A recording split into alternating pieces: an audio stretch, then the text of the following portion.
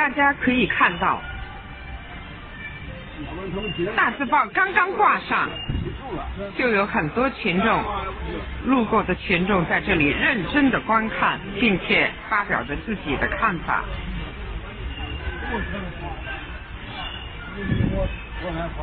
这张大字报的标题是“文革注定是人类文明之灯塔”。不主动接受，那就被动承受。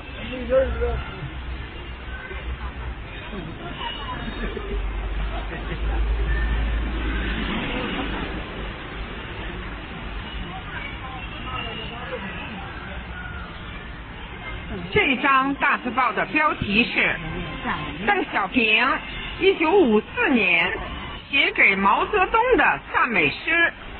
称毛为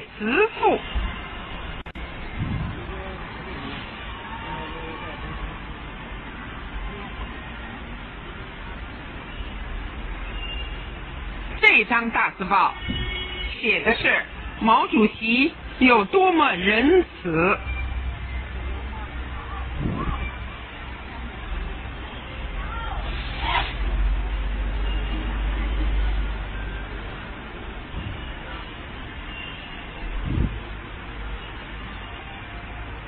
这个大字报标题是“中国危害最大的假货——假共产党”。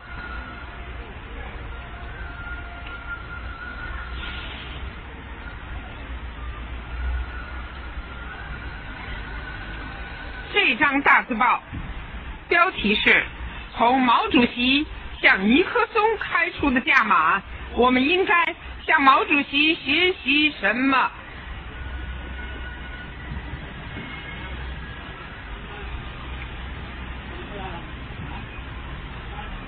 张大字报的标题是“尼克松的低头”。中国用抗美援朝这场战争。